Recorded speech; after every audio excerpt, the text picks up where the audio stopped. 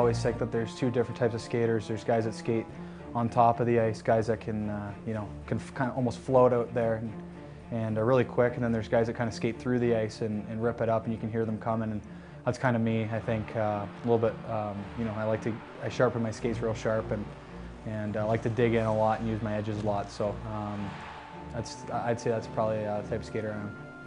I think for a guy like me, that's uh, um, that's turning and doing stuff a lot. You want to you want to skate that's responsive and that uh, that's stable. Um, you know, when you're when you're uh, doing cutbacks and stuff in the corner, trying to take the puck to net, you can't have your your your ankles or feet moving too much. And with this skate, um, you know, it locks in your heel pretty good, and you're not moving around. And uh, you know, if I had any heel lift at all, you could just pump it up and uh, and uh, add that much more into it. So um, I always find my heels locked, and uh, you know, I get the stiffness I need.